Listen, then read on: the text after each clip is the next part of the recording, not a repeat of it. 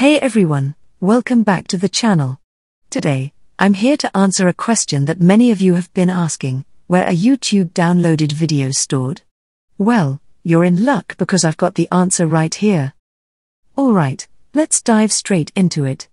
I'm here on my YouTube app, and I'm going to download a video to show you where it's stored.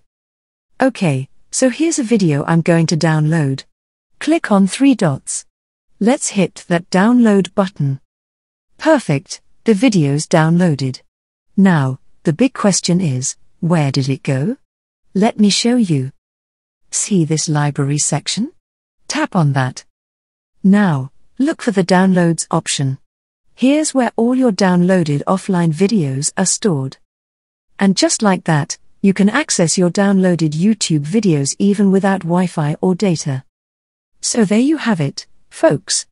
That's where your YouTube downloaded videos are stored, right within the library section of the app. Easy, right? Thanks for watching.